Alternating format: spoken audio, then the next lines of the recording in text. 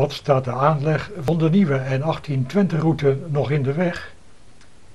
Een verzameling van tientallen boerderijen, woonhuizen, bedrijfspanden, garages, schuren, hokken en kelders. Maar operatie Kaalslag is in volle gang.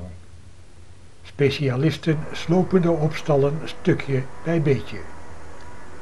Aan de kruising van de N823 en het fietspad tussen Eibergen en Nede sloopt Romaat uit Groenlo vier woningen met schuren en garages.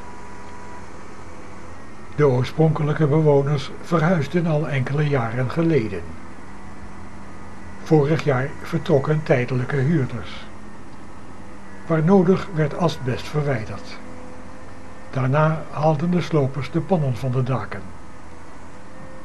Needseweg 25, de vroegere woning van de familie Lepping, verdween eerst. Een mechanische klauw aan een hydraulische arm pikte de muren, dak- en vloerspanten stuk voor stuk uit het bouwwerk. En complete wanden, hier met lampje, spiegel en wastafeltje er nog aan.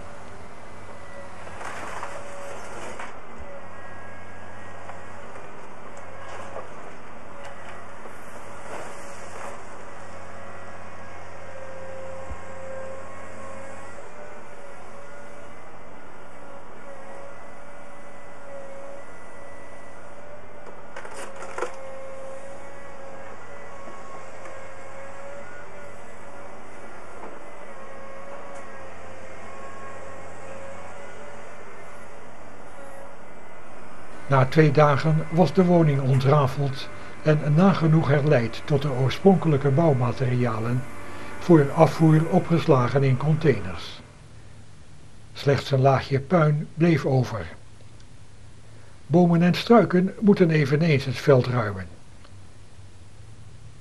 Zo vergaat het ook de woningen 27, 29 en 31 langs het fietspad op de voormalige spoorbaan. Eind 2018 rijdt autoverkeer over de voormalige erven en onder een viaduct door in de N823. Dan zijn de woningen van de families Leppink, Lammertink, Temmink en Roeiman niet meer te vinden in het kadaster, de postcodes, de telefoongids en de adresboeken. Weg voor de weg.